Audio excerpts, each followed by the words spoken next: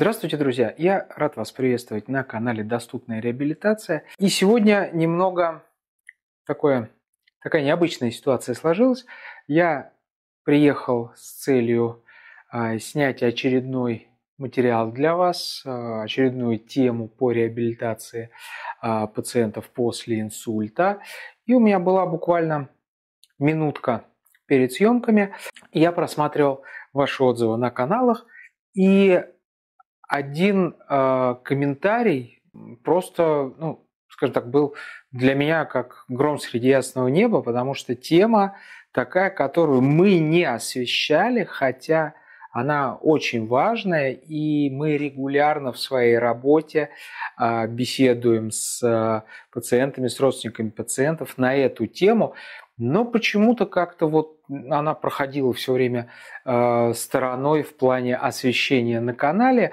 И я понял, что вот именно сегодня я отложу то, то, тот материал, который планировал до вас донести, и расскажу вот именно по этой теме. Абсолютно не готовился, все буду рассказывать именно из нашего опыта, и а, поэтому прошу прощения, если будет э, немного даже где-то сумбурно. Итак, друзья, а, как звучал а, комментарий, как звучал вопрос. Просили рассказать, как вести себя с человеком, перенесшим инсульт. Вот именно родственникам, ближайшему окружению, я бы сказал. Это действительно серьезная тема, потому что ну, вообще, в принципе, как бы вот это тяжелое заболевание, любое тяжелое заболевание, оно как вот прям переворачивает жизнь людей э, очень так кардинально. Но чем страшен, как говорится, инсульт? Человека парализует. Зачастую человек перестает говорить. А также человек перестает понимать обращенную речь. И вот это все формирует такой нервный климат э, в семье, среди пациента, родственников, детей, там, жен, друзей и прочего. Вот, поэтому здесь, друзья, ну, понятно, что э, все моменты предусмотреть невозможно, и, как правило, когда мы сталкиваемся с такими ситуациями в работе, когда нам задают этот вопрос, мы рассказываем, уже зная, виде пациента, рассказываем про конкретную ситуацию. Сегодня я постараюсь э, просто донести основные моменты, с которыми чаще всего э, сталкиваются родственники и пациенты соответственно. Итак, друзья, а с чего мы начнем? Ну, давайте мы начнем уже с момента, когда, разумеется, вы приехали привезли своего родственника после инсульта домой, и вот здесь начинается вот такая а, бытовая как бы притирка. Надо и заниматься, надо и как-то вот ухаживать за человеком, то есть поменялось вообще, все перевернулось с ног на голову. Итак, друзья, первое, что я сразу хочу сказать, вот именно обращаясь к ближайшему окружению пациента. Друзья, пожалуйста, набирайтесь терпения. Э, надо понимать одну простую вещь, что э, ваш близкий человек сейчас достаточно беспомощен и болен. И если вы либо изведете себя в нервном плане, либо сорвете себе спину, таская его вот в своем порыве что-то быстрее его растормошить, и сляжете там рядом с ним, то этому человеку больше, кроме как на вас, надеяться не на кого. Поэтому в первую очередь, друзья, надо беречь себя, потому что вы сейчас единственная надежда и опора человека, перенесшего тяжелое заболевание. Это важно, это надо понять, это надо переварить, и дальше все пойдет намного ровнее. Следующее.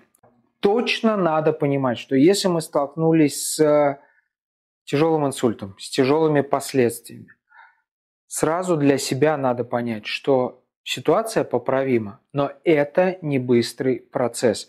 Это, возможно, игра в долгую. И хуже всего, когда к нам попадают э, пациенты с родственниками, и родственники нам говорят, ну, нам за месяц надо прям прям вот надо восстановиться. Нам надо выходить на работу, там, детей в сад э, и прочее. Ну, разные причины приводят. И здесь вот, когда я смотрю на людей и вижу, что они просто не понимают вот всю проблему, которая сложилась. Это не говорит о том, друзья, что у вас закончилась жизнь, да, и у вас как камень как якорь на вас повис э, ваш ближайший родственник, который не ходит, ничего. То есть тоже делать из себя, э, как некоторые, это мой крест, я буду его нести. Не надо ничего нести. Человеку надо помогать. Да, в какой-то момент придется перестроить свою какую-то жизнедеятельность, свой привычный уклад. Но вот бросать все, например, часто я сталкиваюсь с ситуацией, когда э, родственники, все там, муж или жена, я бросаю работу, я буду сидеть, э, жить там ради вот этого человека, я буду все за него делать. Друзья, поймите одну простую вещь. Вы бросили работу, у вас кончились деньги, и вот вы сидите вдвоем, а пациент, может, и лежит еще, да? Что делать? Вот таких опрометчивых поступков совершать точно не надо. Да, на первое время, если хороший работодатель, желательно взять какой-нибудь запланированный или незапланированный отпуск. То есть у вас должен быть месяц а, без каких-то резких телодвижений и э, судьбоносных решений. Да? То есть вы должны в течение этого месяца разобраться в ситуации, подумать, остудить голову и вот постараться выстроить как бы а, весь процесс без таких вот кардинальных жертв. Поймите, на вас, возможно, ляжет повышенная финансовая нагрузка, потому что, ну, потому что не вся медицина у нас бесплатная. Это надо четко понимать да, выписать больничный, получить консультацию врача, да, может быть.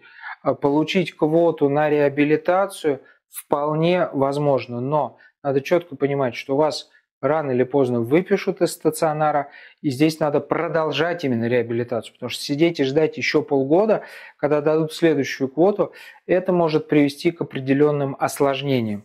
А, также лекарства, а какие-то специальные приспособления, коляски и прочее. Конечно, государство это дает, но не всегда, не везде это получается легко и быстро выбить и получить.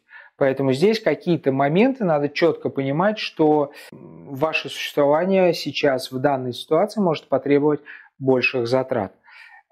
Это не катастрофа, все можно решить. Некоторые, я знаю, там, вот у нас были ситуации, когда люди с весьма ну, средним достатком, э, из лучших побуждений, опять же, из лучших побуждений бегут и покупают, вот кто-то посоветовал – и бегут там, берут кредит, покупают какую-то забубенную реанимационную кровать для пациента. А у него перспектива встать и ходить. Понимаете? То есть люди потратили там 300 тысяч, купили супер кровать, с которой пациент скоро встанет и уйдет. И вы ее уже за эти 300 тысяч не продадите. Не торопитесь. Четко надо понимать, что человек первое время, может быть небольшое, может полежать на обычной кровати. Да, может быть, вы купите противопролежневую систему, если это э, лежачий пациент, и постелите ее на обычную кровать. Да, Потом постепенно вы поймете, какие перспективы у пациента. Вас проконсультируют реабилитологи, неврологи, какие-то специалисты. И здесь уже потихоньку, потихоньку будет э, выкристаллизовываться план действий, без э, каких-то опрометчивых поступков, которые потом ну, о которых потом можно пожалеть, да. То есть вот эти 300 тысяч лучше вы возьмете и купите хорошее лекарство, либо отдадите за хорошую качественную реабилитацию, или вызовите каких-то специалистов там хороших, да, чем вот будет стоять вот эта грабина с кнопками – которая, в принципе, вполне возможно кому-то не понадобится. Опять же, друзья, если уж я коснулся вот этих вопросов с кроватями, часто, часто э, мы сталкиваемся с ситуацией, когда пациенту, да, нужна кровать специальная с электроприводами, чтобы более качественно проходила реабилитация, чтобы пациенту было легче и прочее, и прочее, и прочее. И я всегда советую, друзья, говорю, поищите бэушный вариант. У нас полно этих всяких э, сайтов, которые это продают. Люди говорят, нет, только новое. А я терпеливо всегда объясняю. Говорю, друзья, единственное, на чем лежал пациент, это матрац на кровати.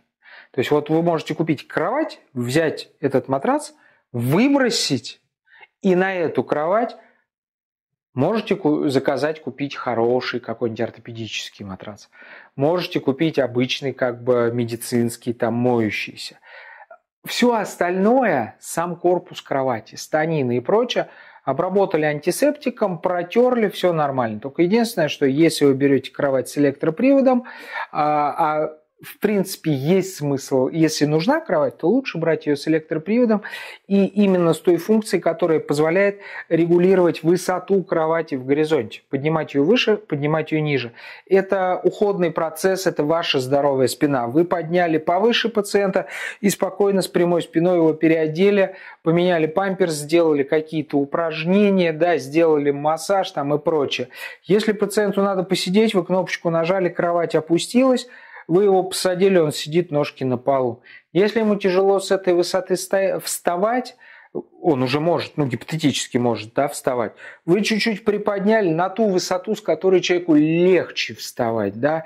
Вот в этом смысл есть. Но опять же говорю, бушный вариант, только единственное, проверяйте электроприводы. То есть никогда не берите кровать, э, когда вам отдают ее в разобранном виде. Не исключено, что там какой-то мотор не работает. Всегда приехали, посмотрели, понажимали кнопки, проверили все функции, все работает. Разбираются они быстро, мы их разбираем, собираем периодически. И даже без сноровки вы потратите полчаса, разберете, загрузите, увезете, соберете, и все, положите новый матрац, и у вас прекрасная кровать. Но опять же, не всем она нужна. Следующий момент. А, пациент, который потерял речь, не может говорить, не может э, донести свою мысль. Здесь, вы знаете, честно могу сказать, за наш богатый опыт работы чуть ли не до драки доходит. Вот здесь, друзья, самое главное, опять же, успокоиться. Успокоиться самим, если вы спокойны, будет спокоен пациент. Можно пробовать разные варианты. У нас была масса ситуаций, когда пациент не говорит, в семье скандал, муж сидит, извините, мычит, что-то там рукой трясет здоровый, жена говорит, все, капец, у меня тоже инсульт, инфаркт, я ухожу, я не знаю, что делать, я его не понимаю. Бывает, берешь просто ноутбук пациенту двигаешь, и он одной рукой набирает то, что он хочет сказать. Бывает, что забывают буквы, не могут набрать. Варианты есть. То есть самое главное здесь успокоиться. Что может, что может быть страшного? Да? То есть если пациент долго не ходил в туалет, по-большому, а если пациент у вас там покраснел, беспокоен, ерзает глаза, там налились, может быть давление – либо вы его сажаете, у него как бы глаза начинают плавать, низкое давление. А, либо пациент жалуется, там болит, показывает, болит слева еще сердце, да, либо температура поднялась. Это все, вот здесь главное с холодной головой. То есть проанализировать ситуацию, что происходит. Так, со здоровьем все в порядке. Окей. Думаем дальше. Думаем дальше, чего, чего, чего хочет, да. У меня э, очень давно, лет 17, наверное, назад, была, была ситуация, сейчас прям в голове всплыла, пациент, мужчина, достаточно молодой мужчина был, после инсульта потерял речь, он был художник. Он был художник, и мне пришлось приезжать, меня вызвала жена, потому что там дошло уже просто накал страстей был такой, он сидит, мычит и тычет куда-то в стену. Вот пальцем тычет, ну, ругается, видимо. Вот. У жены давление, у него давление, никто ничего не понимает. Я приехал, стою, смотрю на эту ситуацию, э, говорю, ну куда, что, что, покажи. Он опять тычет в стену. Просто он сидит на кровати, напротив стена, он в нее тычет. Да? Я, я смотрю, смотрю. А потом смотрю на стене, как бы, ну, вот такое ощущение, что что-то висело. Как бы, ну, понятно, что там есть гвоздик и, и какой-то вот такой силуэт, знаете, запыленный. Я уже спрашиваю, а что здесь висело?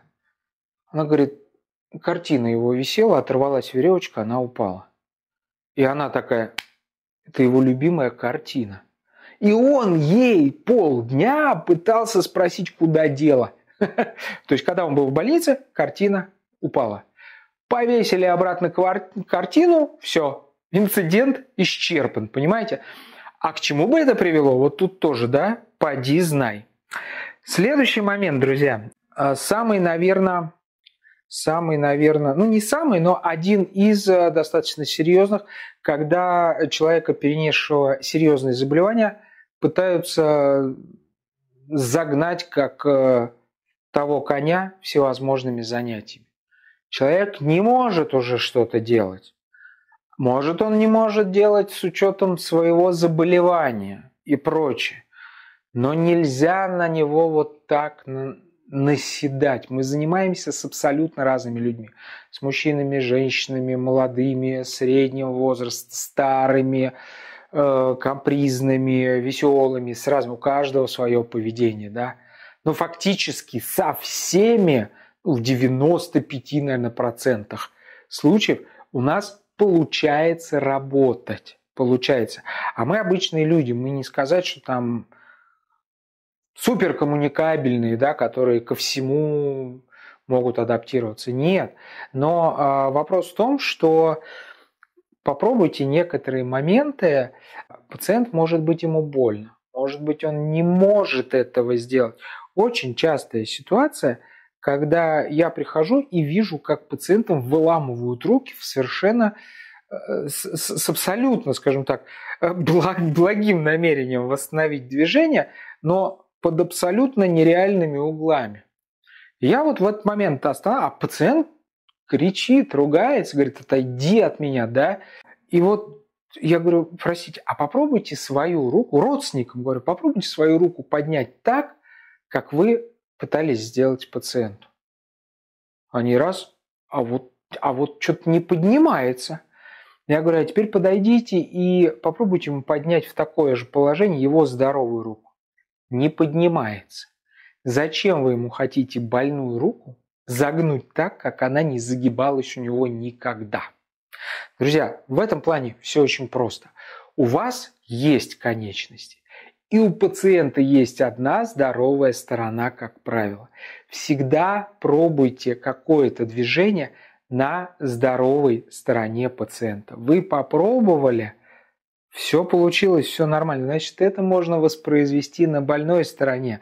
Но если вы это воспроизводите и где-то, ну, чаще всего это плеч, например, касается, здоровая рука поднимается, да, полностью, больная раз, и пациент уже шипит на вас, там, отгоняет и прочее. Вот тут надо искать проблему, искать причину, лечить причину, потом возвращаться к этому. Да? Где-то это просто разработка, где-то это медикаментозная терапия при воспалениях и прочем. То есть варианты есть. Но сначала надо попробовать на своей конечности или здоровой конечности пациента. То же самое с упражнениями до трясучки. Хватают за пораженную руку или ногу, поднимай. Пациент лежит, глазами лупает, не разговаривает. Поднимай. Та же, та же реакция, да? Всегда просите сделать движение сначала здоровой стороной. Вам надо для себя понять, он вообще понял, что вы от него хотите или просто не понял. Да? Очень часто бывает, говоришь пациенту, поднимите здоровую руку, а он лежит и также хлопает глазами. Да? Он не понимает обращенную речь.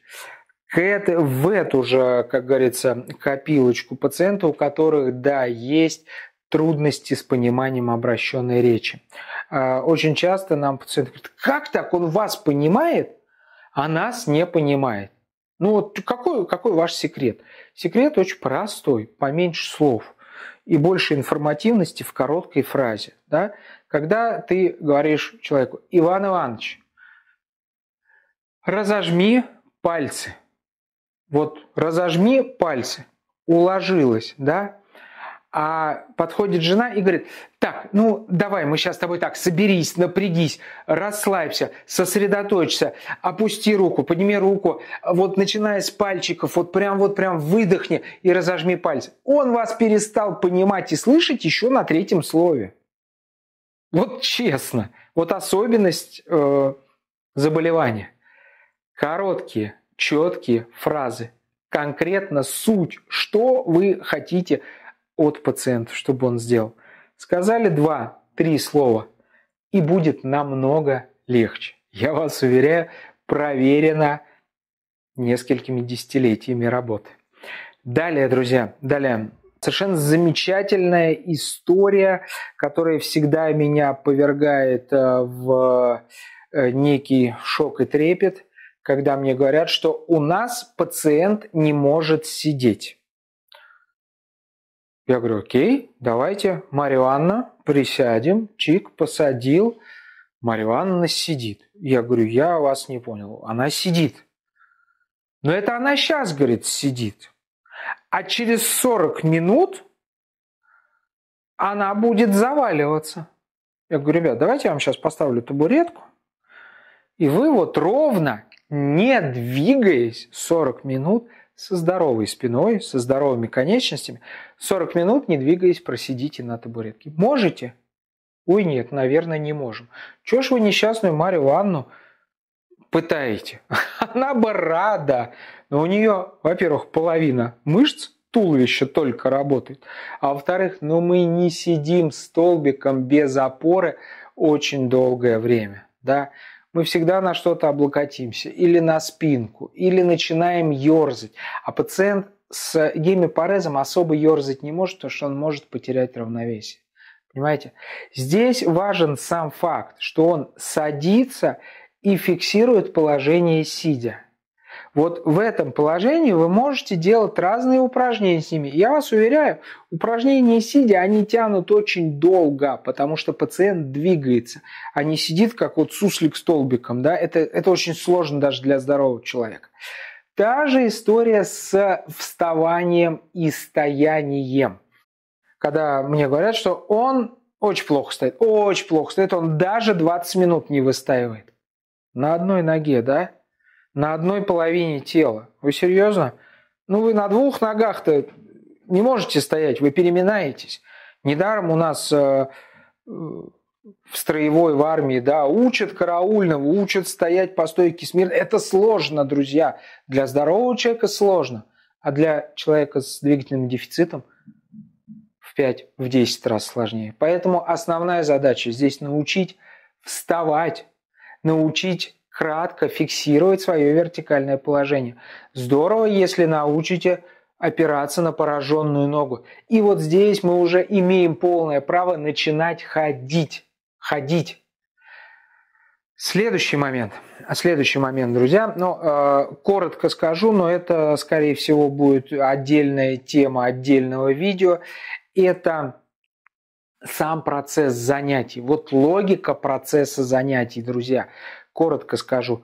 Вы всегда должны знать, для чего конкретно вы делаете то или иное упражнение. Какой результат вы хотите получить в краткосрочной перспективе.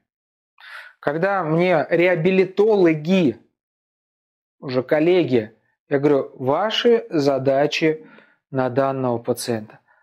Ну, разумеется, чтобы он начал ходить. А он лежит, Ребята, он лежит. Какой ходить? Ставьте короткие задачи. Лежит, сел. Сидит, встал. Встал, пошел. Пошел плохо, уже здесь более локальные задачи. Начинаем корректировать. Но если вы неделя за неделей, месяц за месяцем делаете какие-то упражнения, а они не приводят к результату, или же вы сами не понимаете, что вы хотите? А, а какой результат вы хотите получить в краткой перспективе? Это все бессмысленно. Это даже иногда бывает вредно. Часто мы с такими, у нас сейчас много пациентов на отсрочном этапе восстановления, и очень часто такие проблемы, да, Мы там работаем четыре раза в день, нам там не покушать порой не успеваем, все занимаемся, занимаемся, занимаемся. А я смотрю, говорю, а почему больная ходит на прямой ноге? А я говорю, согните ногу. Согнула. Присядьте чуть-чуть. Идите. И она пошла нормально, да, не выхлестывая там, ногу не качаясь, не падая. Задач нету, четко поставленных. И люди в холостую истязают себя. Вот как раз а, видео, которое я планировал записывать, это видео связано с восстановлением а, руки, кисти и пальцев, мелкой моторики, бытовых движений. В этом плане тоже очень много ошибок, о которых я хотел бы поговорить, но это я его сниму в следующий раз, вам предоставлю. Вот. Но в целом вы должны понимать, друзья, пациент, он у него проблемы с движением. Он человек парализованный русским языком. Мало того, что он парализован, его парализовало не просто так. Либо это возраст, либо это какие-то сердечно-сосудистые заболевания, то есть нездоров человек изначально.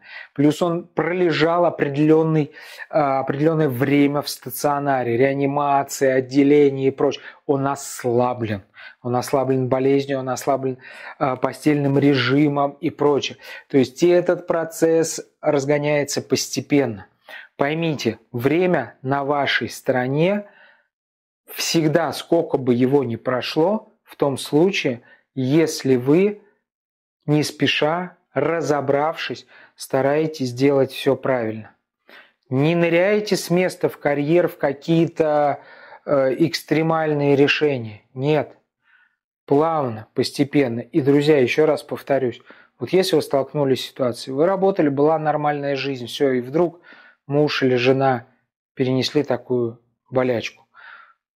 Вот без резких движений подойдите к руководству и попросите отпуск за свой счет, как угодно, отпуск от двух недель до месяца на момент выписки пациента, чтобы вот этот месяц вы побыли дома, вы поняли, какие э, могут быть проблемы, нашли пути решения этих проблем.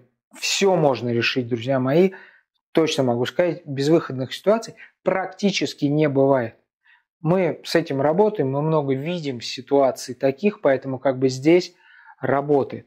Наберитесь терпения, пока вы выучите. Я всегда шучу, да, когда мне паци... родственники пациенты говорят, как вы его понимаете? Я говорю, я их язык выучил. Хм. На самом деле язык я не выучил. Понятно, что в большинстве своем обычный человек просит что-то бытовое, банальное и подходящее к данной конкретной ситуации. Поэтому не старайтесь как бы сразу взвинтиться по нервам, да, что вы, он непонятно говорит, что он билиберду мне какой-то говорит, да. Задумайтесь, остановите его, попробуйте по-другому, покажи, напечатай, напиши. Не можешь, покажи, что тебе дать, чтобы я тебя понял, поняла да, и потихонечку вот этот квест вы распутаете, и э, через какое-то время просто это вы уже будете понимать вот на бытовом уровне пациента. Э, в определенное время, в определенной ситуации, как правило, он будет просить то, что вы точно знаете уже и поймете. Поэтому, друзья, поэтому. И сразу могу сказать, вот я очень всех прошу – если человек не говорит, если человек плохо, как вам кажется, понимает обращенную речь, не обсуждайте при нем его же. Не надо. Не исключено, что он понимает, не исключено, что он слышит, не исключено, что он глубоко в себе очень переживает эту ситуацию. Если вы кому-то что-то хотите сказать, ненавязчиво скажите, не в присутствии пациента. Друзья, и вот случаи жизни. Я еще тогда был самым обычным реабилитологом, и был у меня пациент, которого я сам лично вел, прямо начиная с реанимации, потом в отделение, потом его выписали, и дочь попросила, это был ее папа, а, дочь попросила приезжать к ним, заниматься с ним, я с ним работал. У него не было речи, он молчал. Вот вообще, вообще молчал. Дочка мне постоянно задавала этот вопрос, причем как бы и логопеды поставили ему как бы афазию, все, он просто молчал. И мы научились с ним ходить там и прочее. И наступило время, когда а, мы с ним пошли на улицу. Как сейчас помню. Весна была, и мы с ним идем не спеша по улице, подходим к подъезду, и ему навстречу идет его друг. И там Васильевич, а, Николаевич, вот до сих пор помню. Николаевич, привет. И вот, вы знаете, а, это меня надо было, конечно, снимать на видео. Я стоял просто, челюсть ноги отдавил. И он просто разлепляет губы и начинает с ним разговаривать, как ни в чем не бывало.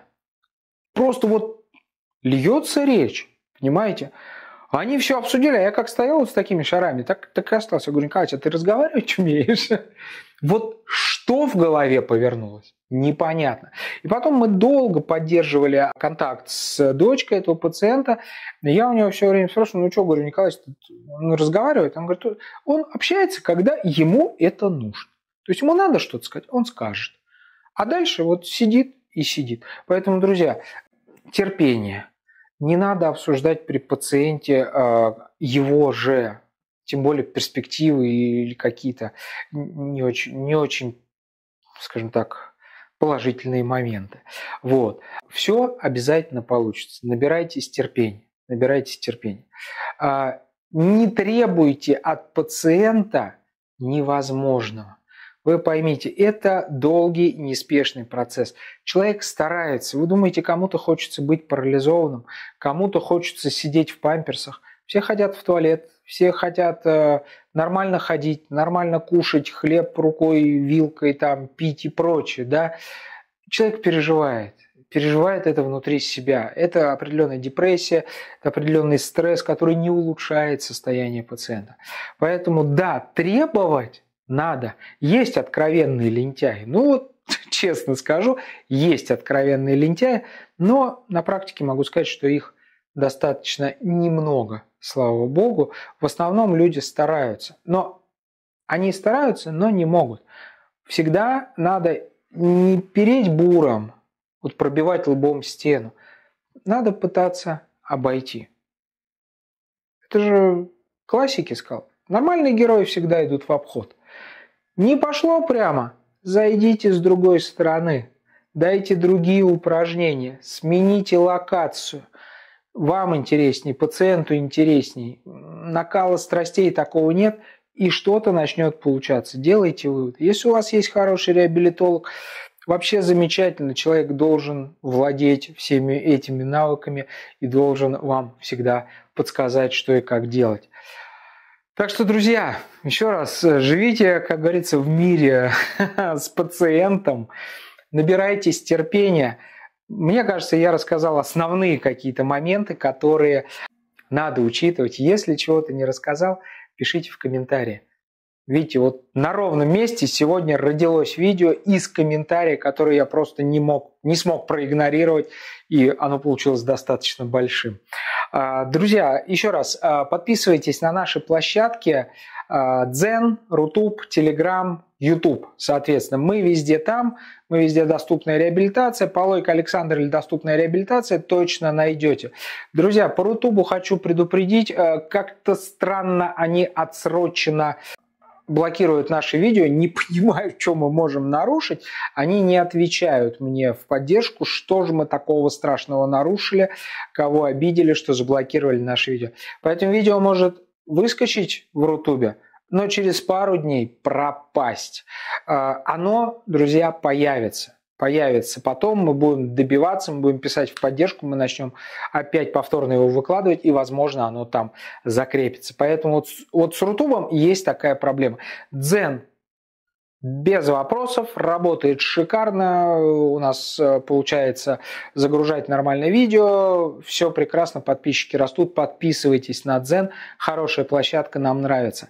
Телеграм работает, группа, наш телеграм-канал, доступная реабилитация. То же самое, там дублируется видео, плюс э, живые комментарии, мы всегда общаемся с пациентами. А, YouTube продолжает работать, он работает от э, мобильного интернета, он э, иногда работает даже от городского интернета. Вот. Площадка живая, мы там существуем, и пока нам полностью, скажем так, не выключат кнопку на YouTube, мы будем там существовать и будем выпускать там наши материалы. Все, друзья, на сегодня я с вами прощаюсь. Увидимся с вами в следующей на сегодня запланированной теме. Отсниму ее на днях и вам предоставлю. Друзья мои, всего вам доброго. Будьте терпеливы и здоровы.